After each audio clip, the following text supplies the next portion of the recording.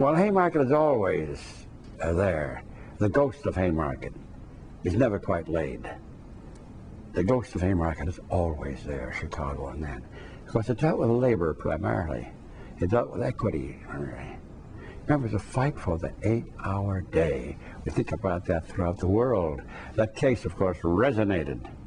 The indignation was there, as you know, uh, people like Tolstoy and, Bernard Shaw all spoke out against it, and William Morris all spoke, and William, I think William Dean Howells did.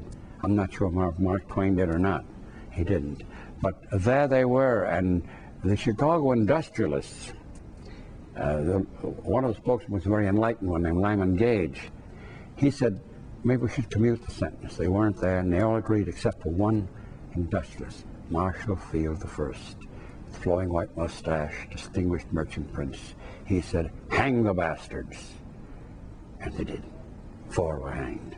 And later on, of course, the greatest perhaps of all governors any state ever had, John Peter Altgeld, looked over the records and said this was a frame-up, this was a farce. And those who survived, the three of the four who survived, he pardoned, much to the destruction of his political career.